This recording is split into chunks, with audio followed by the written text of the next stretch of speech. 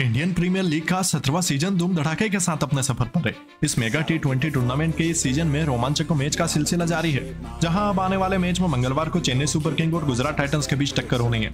इस सीज़न में जीत के साथ शुरुआत करने वाली है दोनों ही टीमें यंग कैप्टन के साथ खेल रही है। ऐसे में इस मैच में ऋतुराज गायकवाड़ और शुभमन गिल की कैप्टनसी का टेस्ट होने वाला है। तो चलिए दोस्तों, अब आपको बताते हैं C S K versus GT match का प्रीव्यू दोस्तों, इस मैच में सबसे पहले आपको इसकी पिच के बारे में बता देते हैं। दोस्तों, चेन्नई और गुजरात के बीच ये मैच चेन्नई के चेपक स्टेडियम में खेला जाएगा। चेन्नई के चेपक स्टेडियम की बात करें तो साफ़ है कि ये एक स्लो पिच है, जहाँ स्पिनर्स को फ़ायदा होगा। साथ ही यहाँ फास्ट बॉलर भी पेस वेरिएशन से फ़ायदा उठा सकते हैं। इस पिच पर एक ठीक ठाक स्कोर बनते हुए देखा जा सकता। है अब आपको बताते हैं लास्ट सीज़न की फाइनलिस्ट टीमों का अब तक का हेड टू हेड जो इसमें गुजरात टाइटन्स का पलड़ा भारी रहा है। जिन्होंने पाँच में से तीन मैच जीते हैं तो वही दो मैच चेन्नई सुपर किंग ने जीते हैं। दोस्तों, अब जहाँ तक इस मैच में सीएस के वजह जीटी मैच की फैंटेसी टीम की बात करें तो यहाँ आपको सबसे पहले ओपनिंग के लिए सुभमन गिल और रतराज गायकवाड़ को चुनना चाहिए।